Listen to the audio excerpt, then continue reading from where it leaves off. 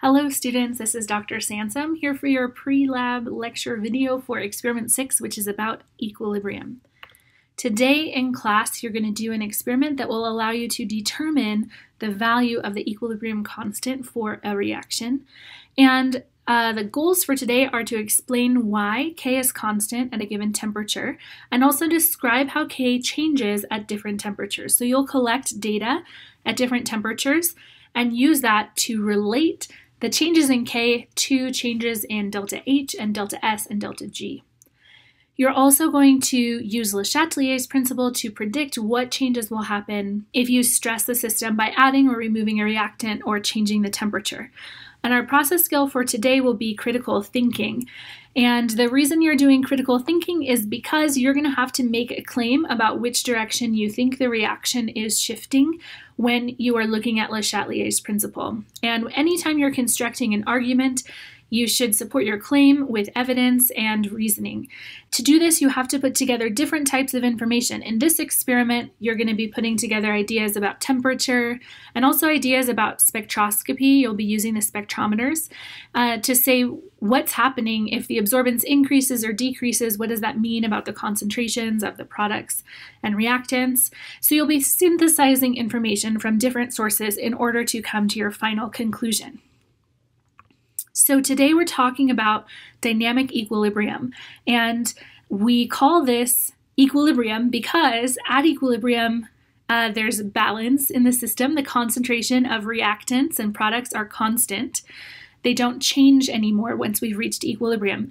Note that even though the word says equilibrium, it does not mean that those concentrations are equal. Rather, the forward and reverse reaction rates are equal. So we call it dynamic because if we could zoom in and look at the molecular level, we would still see the forward and reverse reactions occurring, but they occur at the same rate. So when we zoom out and look at just the beaker, we can't tell that anything is happening at all. It appears to not change. So dynamic equilibrium is the word that we use to describe that. And you guys today are going to be calculating the equilibrium constant. And it has the expression down at the bottom here that KEQ is the concentrations of products raised to their coefficients divided by the concentration of reactants raised to their coefficients. And it communicates the extent of the reaction to equilibrium, or in other words, the ratio of products to reactants. If K is small, less than 1, then we say the reactants are favored. If it's greater than 1, we say the products are favored. And if it's somewhere in the middle, then usually it contains a decent mixture of both reactants and products. And the reaction system that you're going to look at today with iron and thiocyanate ions is in this category where the equilibrium constant is kind of in the middle. And so you'll be able to see visually with your eyes how the concentrations change when the equilibrium shifts. Today in class, you'll also be looking at the temperature dependence of the equilibrium constant.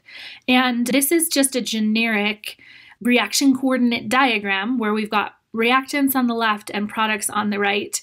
And uh, essentially, when we raise the temperature, it's going to affect the rate of the forward reaction differently than the rate of the reverse reaction.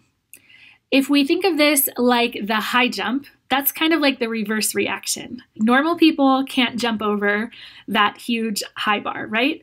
Um, but normal people, probably a bunch of them, not all of them, but many of them can jump over, say, a hurdle.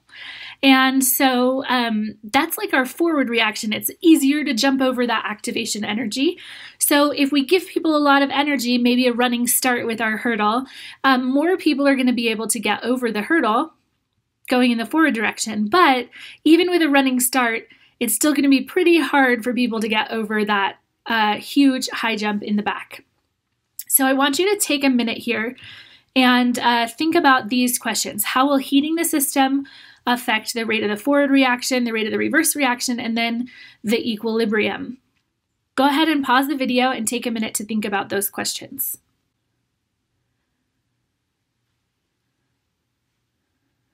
So as we heat the system, the rate of the forward reaction and the rate of the reverse reaction will both increase. But because we're starting out with such a small amount of molecules going over that reverse activation barrier, it's actually going to affect the rate of the reverse reaction more than the rate of the forward reaction. And because of that, our equilibrium will actually shift to the left, and equilibrium constants will actually change in this situation. And you will actually determine the way the equilibrium constant changes using your data from your experiment, and that will help you know if the reaction is endothermic or exothermic. You'll make some predictions about that in the pre-lab based on your molecular level understanding, um, but you'll be able to verify that with your data from the experiment. So this equation that we're going to use today uh, we can derive it from our delta G equals delta H minus T delta S and delta G equals negative RT ln K. Both equations which hopefully you've seen before. And if we combine them together, we get this overall equation. This exact equation is not on your equation sheet. Um, you have a similar equation, but it doesn't include this intercept, which is our delta S over R. So um, you'll you may want to just remember this one for when you are taking the exam. And here, the natural log of KEQ equals the negative delta H over RT plus delta S over R. And this equation describes the temperature dependence of the equilibrium constant in terms of thermodynamic quantities. So we can say how K will change based on the values of delta H and delta S for that reaction. This does assume that delta H and delta S stay constant over the temperature range that we're looking at, which is a pretty good assumption because we'll just be sort of between 0 and 100 degrees in our experiment today. Now, what does this mean about how our graph of ln KEQ versus 1 over T will look for different types of reactions? Well, if we have an exothermic reaction, then the value of delta H will be negative, and so the slope will be positive. And if we have a reaction that's endothermic, our delta H is positive, and our slope will be negative. Now, what about entropy? If our products are more ordered than the reactants, that will mean delta S is negative, so we'll have a negative y-intercept. And if our products are more disordered than the reactants, then we should have a positive delta S and a positive intercept. So for our reaction, what do we think it should look like? Well, we know that we've got iron and thiocyanate, and they're coming together to form a complex ion. They're forming a bond. And if they're forming a bond, then we probably anticipate that our delta H should be negative because whenever we form bonds, it should be exothermic. So our slope is likely to be positive, indicating a negative delta H. Now, in the uh, reaction, you might also think you have a negative delta S because you have your free iron and free thiocyanate ions coming together to form a single complex ion. FeSCN2+. And that should be more ordered than the reactants, so then we would expect a negative delta S. Now you'll see in the reaction today whether these predictions are correct or incorrect based on your data. The last part of the lab that you're going to do is Le Chatelier's principle. So you'll have a system at equilibrium. You'll mix up all of these test tubes with reactants in them, and they will establish an equilibrium. And then you're going to stress them.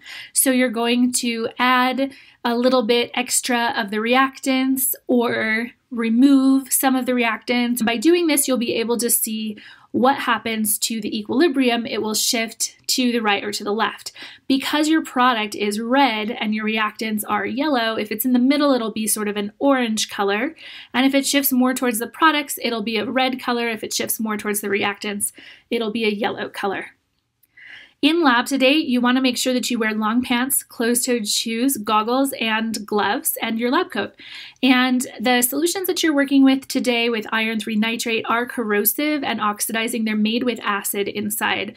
So it's important that you avoid contact with your skin and eyes.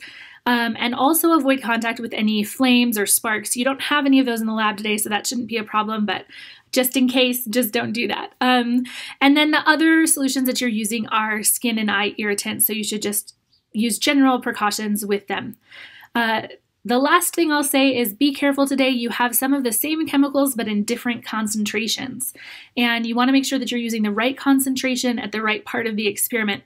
Otherwise, you won't get any data that makes sense. So please read the bottles carefully and listen to your TA there to find the appropriate concentration of the solution that you're looking for for each part of the experiment. Thanks very much and have fun in lab.